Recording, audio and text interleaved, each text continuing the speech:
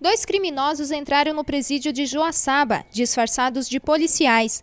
Apresentaram um documento do Poder Judiciário e conseguiram entrar sem dificuldades. Sim, havia um indivíduo de terno e gravata, supostamente delegado, e outro agente de roupa preta, né, com as insígnias da Polícia Federal. Esse indivíduo, então, conseguiram adentrar no presídio com o pretexto de inquirir um preso coisa que é comum ocorrer, né?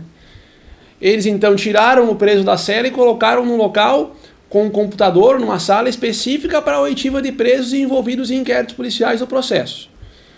Perfeito.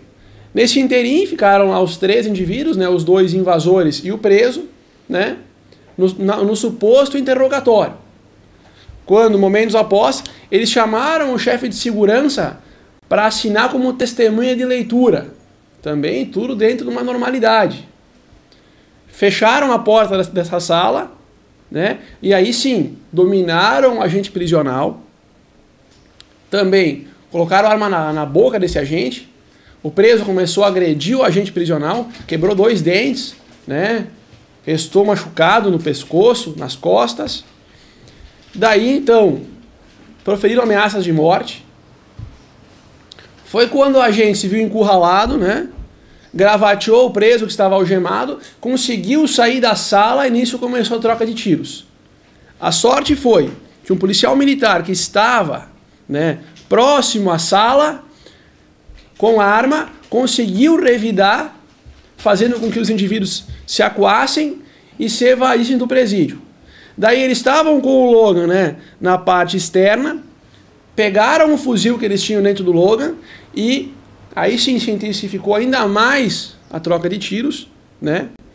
E eles fugiram. Restou um preso baleado, né? Um preso não, um, um dos invasores restou baleado. Né? Derrubaram o portão do presídio com o logo, como vocês viram lá, e empreenderam fuga. E nesse interim perderam o revólver e os dois HTs foi encontrado no presídio um revólver, balas calibre 32 e rádios que os invasores perderam durante um tiroteio que ocorreu no local. Um dos invasores foi baleado. Dois criminosos fugiram em sentido Catanduvas, onde a polícia militar foi em perseguição trocando tiros com os fugitivos. De pronto foi comunicada a polícia militar e iniciaram-se as buscas. É, iniciadas as buscas, eles fugiram em direção a Catanduvas e entraram próximo a Aurora, numa estrada vicinal. Nesse meio tempo eles abandonaram o veículo Logan né, e adentraram numa estrada, cabine estendida. Nós não sabíamos. Os policiais militares, vendo suspeita nessa, nessa estrada, nesse veículo estrada, né, tentaram proceder à abordagem.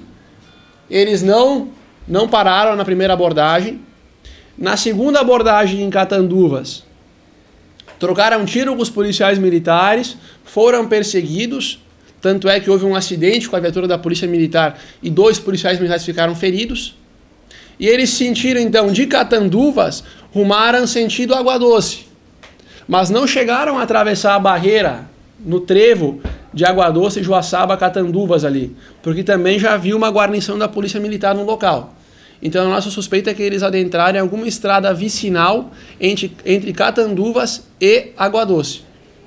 Fizemos, fizemos operações toda a madrugada, conseguimos recuperar o Logan por volta da meia-noite. Né?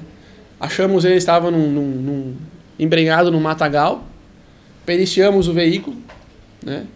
E policiais ainda continuam fazendo rondas ali nas estradas vicinais. Só que é uma estrada são, é, é um local bastante grande, né? De difícil acesso, inúmeras estradas vicinais, né? mas a polícia continua mobilizada tentando efetuar a captura desses indivíduos. A polícia já sabe quem são os fugitivos que vieram para ajudar na fuga do detento, Marcos Vinícius Fernandes dos Santos.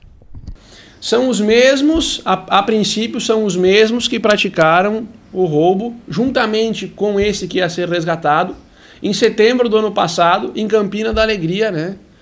E no município de Vargem Bonita.